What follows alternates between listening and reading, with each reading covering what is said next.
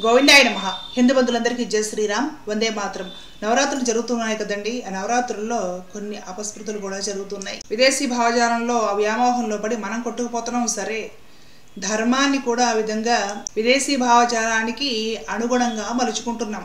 మొన్న ఈ మధ్య బోడుప్పల్లో ఒక అమ్మవారి దేవాలయంలో అమ్మవారి విగ్రహానికి బాలా త్రిపుర సుందరి అలంకరణ చేయాలి అని ఆ పూజారి గారు ఒక వైట్ కలర్ ఫ్రాక్ ఒకటి పైనుండి కిందకి అలంకరించాడు ఆ ఫ్రాక్ కూడా ఎలాంటిదంటే ఈ క్రిస్టియన్ చర్చిల్లో పెళ్ళి చేసుకునేటప్పుడు పెళ్ళి కూతురికి వెడ్డింగ్ డ్రెస్ ఉంటుంది చూసారు మొత్తం వైట్ ఫ్రాక్ ఒకటి వస్తుందన్నమాట. పల్లల్చిగా ఉంటుంది ఆ క్లాత్ కూడా. ఏదో నెట్ క్లాత్ అంటారు కదా దాంతో అలా తయారు చేసిన క్రిస్టియన్ బ్రైడ్ వెడ్డింగ్ ఫ్రాక్ ఏదైతే ఉంటుందో ఆ ఫ్రాక్ వేసి ఆ బ్రైడ్లు తల మీద సన్నటి కిరీటాల్లాగా ఏదో పెట్టుకుంటారు చూసారు అలాంటి కిరీటాలు పెట్టి పైనుండి కిందకి ఒక క్రైస్తవ పెళ్ళి కూతురులాగా అమ్మవారిని అలంకరించాడు ఆ పూజారి. అక్కడ మహిళా భక్తురాళ్ళు పాపం ఆ నవరాత్రులు దేవాలయాల్లోకి వెళ్ళి వాళ్ళు ఏమిటిది? ఈ విధంగా అలంకారాలు చేస్తారా? విదేశీ సంస్కృతి ఎందుకు పాటిస్తున్నారు గుళ్ళు అన్నదానికి ఆ పూజారి గారు నోటికి వచ్చినట్లుగా దూషించి వాళ్ళ మీద తిరగబడి బూదులు తిట్టేశాడు పాపం. ఆడవాళ్ళని కూడా చూడకుండా గుళ్ళోనే నవరాత్రుల్లో. ఇలాంటివన్నీ కూడా మనం అసలు ఎంకరేజ్ చేయకూడదు. ఖచ్చితంగా ఖండించాలండి. హిందువులందరూ కలిసి ఇలాంటి విషయాలు ఖండించాలి. మనది ఏ సాంప్రదాయమైనా కావచ్చు ఏ సిద్ధాంతమైనా మనం పాటించవచ్చును అవన్నీ కూడా మనం మన పద్ధతుల్లో పాటించుకుంటాం. తప్పేమీ లేదు. చక్కగా ఆయా పద్ధతులు పాటించాలి కూడా. కానీ హిందుత్వానికి సంబంధించి దేవాలయాలకు సంబంధించి ధర్మానికి సాంప్రదాయానికి సంబంధించి ఎక్కడ దోషభూయిష్టంగా లోపభూయిష్టంగా వక్రీకరణగా ఉన్నా సరే అలాంటి చర్యలని మనం అందరము కలిసికట్టుగా ఉండి ఎదుర్కొనాలి అడ్డుకోవాలి ఇంకోసారి జరగకుండా చూడాలి. ఒకవేళ అమ్మవారికి బాల అలంకారం చేయదలిచినా కూడా ఆ పట్టుపావడ అలాంటి దాంతో అలంకరించవచ్చు. ఏదైనా సరే అంచులు లేని వస్త్రాలు మనమే కట్టుకోము. నిషేధం సనాతన ధర్మంలో పూజ అనుష్ఠానము జపము ఇవి చేసుకోవడానికి అంచులు లేని వస్త్రాలు మనం కట్టుకోము. అంచులున్న చక్కగా చీర జాకెట్ వేసుకోవాలి. మహిళలు మగవారు అయితే అంచులు ఉన్న కట్టుకోవాలి. లేదా కుదరకపోతే ఏదైనా డ్రెస్ వేసుకున్న నీట్గా సల్వార్ కమీజ్ చూడిదార్ వేసుకున్నా సరే దాని మీద నాలుగు వైపుల అంచులు ఉన్న ఒక చున్నీ లేదా దుప్పట్ట అయినా కూడా చక్కగా కప్పుకొని దాన్ని ఉత్తరయం అంటారు మన భాషలో. చున్నీ లేదా దుప్పట్ట లేదా పరద అనే దానికి సంస్కృతం ఏమిటి? ఉత్తరయము అదైనా కప్పుకొని చక్కగా మనం పూజ చేయాలి.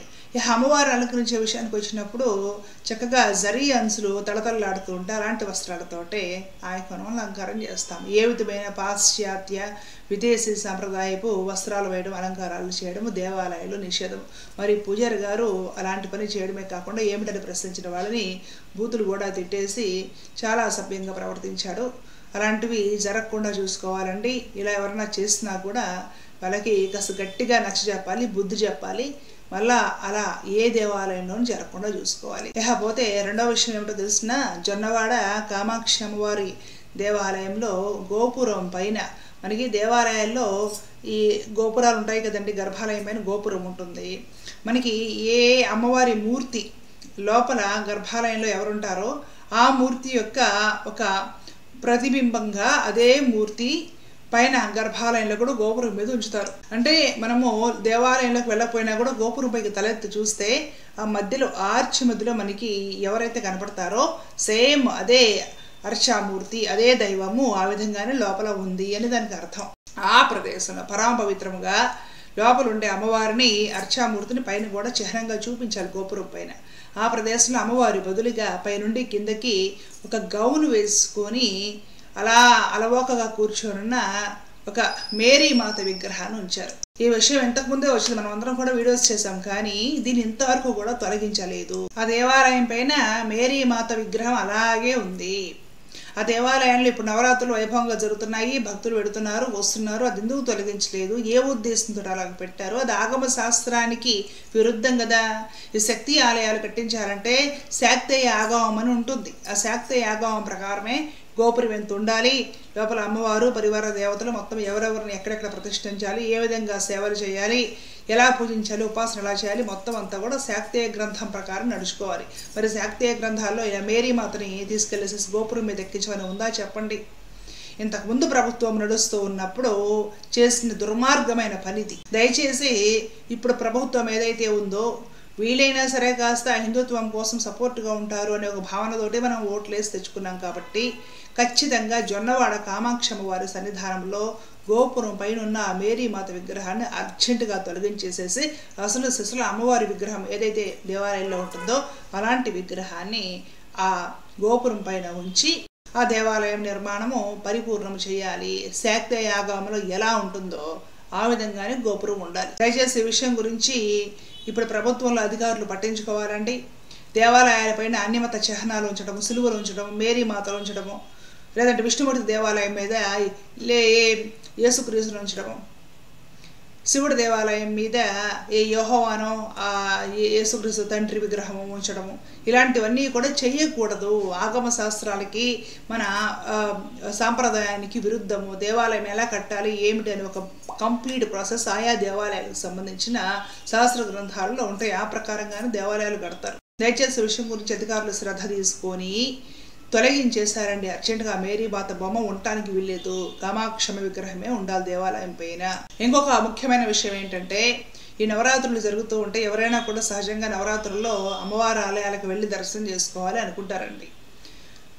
మనకి బెజబాడ దుర్గమ్మ దగ్గర సన్నిధిలో నవరాత్రులకి మంచి కోలాహలంగా ఉంది. ఎంతో మంది భక్తులు రద్దీగా కూడా ఉంటుంది కాబట్టి ఐదు వందల రూపాయల టికెట్లు కూడా కొనుక్కొని దర్శనానికి వెళ్ళి క్యూ లైన్లో నిలబడితే రెండు గంటలైనా కూడా క్యూ లైన్లు కదలడం లేదు. పాప ఆప సోపాలు పడుతున్నారు. పిల్లల్ని తీసుకుని వెళ్ళిన వాళ్ళు.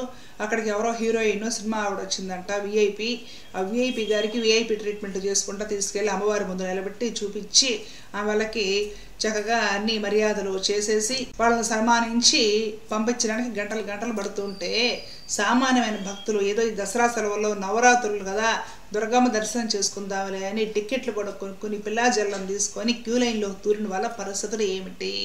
దీని మీద కూడా ఖచ్చితంగా దృష్టి పెట్టాలి. ఒక సామాన్యమైన భక్తుడు కాస్త ఖర్చు అయినా సరే ఒక టికెట్ కొనుక్కొని భక్తితో వెళ్తాడండి. అమ్మవారి దర్శనం ఈ నవరాత్రులు చేసుకుందామని ఒక భక్తితో వెళ్తాడు. ఏదో సరదాగా చూద్దాము మీడియా ముందు కనపడదాము అనే ఉద్దేశంతో ఎవరు వెళ్ళరు. దయచేసి ఈ విఐపీల రద్దీ ఏదైతే ఉందో అది అన్ని దేవాలయాల్లో తగ్గించే విధంగా అధికారులు చర్యలు తీసుకోవాలి. లేదంటే విఐపీలకి ఈ టైం నుండి ఈ టైం వరకు అని పెట్టేసుకోండి. వారంలో ఒకటి రెండు రోజుల్లో ఈ టైం నుండి ఈ టైం వరకే విఐపీలకి అనేసి ఒక రూల్ పెట్టేయండి. ఆ విషయం మీడియాకి పేపర్కి ఇచ్చేయండి. ఆ టైం నుండి ఆ టైం వరకే ఏ విఐపీ వచ్చినా కూడా దర్శనం చేయించేసి పంపించేయండి. అంతేగాని ఆ విఐపీలు రావడానికి ఒక టైం ఉండదు. వాళ్ళకి ఎప్పుడు రావాలనిపిస్తే అప్పుడు వచ్చేస్తారు. వాళ్ళు వస్తుంటేనేమో మీరు క్యూ లైన్లు మొత్తం ఆపేస్తారు. దాంట్లో ఉస్సు వస్సు అని పసిబిడ్డలు వేసుకొని టికెట్లు కొనుక్కొని క్యూ లైన్ గదరక రెండు గంటలైనా మూడు గంటలైనా క్యూ లైన్లు పడున్న వాళ్ళ పరిస్థితి ఏమిటి? ఇలాంటి పనులు చేస్తే భగవంతుడు హర్షించడండి. భగవంతుడి ముందు అందరూ ఒకటే.